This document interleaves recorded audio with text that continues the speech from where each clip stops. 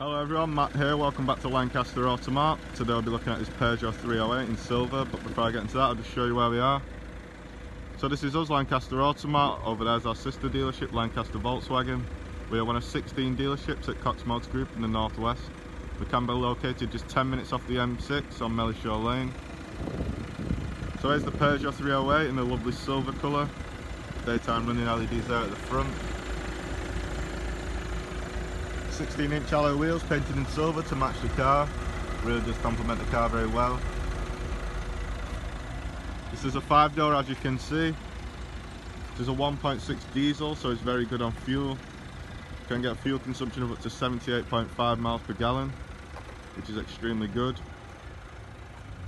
Does have rear parking sensors at the back as well. We do give all our cars a full service, 120 point check, a full MOT and a full valet so you can buy in full confidence. Let's have a look inside. See now inside the car, the mileage there just 68,905 miles. Still very low on the mileage, just the two registered owners for this car so it's been well looked after. I did forget to mention before, this car does actually have zero road tax so it's free. Another great benefit of the car. It is a manual car with a 5 speed gearbox there as you can see as well. 12 volt socket there at the bottom the USB and auxiliary ports.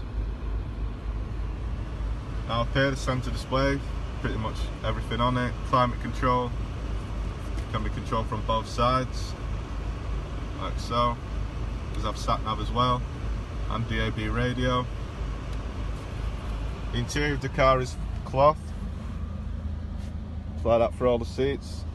Isofix points at the back as well. To the driver's left we do have an armrest, very convenient, space inside there as well. Now on the steering wheel, does have cruise control there. Automatic rain sensing wipers as well. And auto lights. You can see that there. So, yep.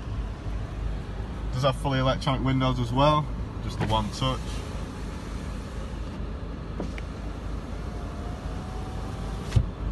I also forgot to mention the electric handbrake there to the driver's left, very convenient.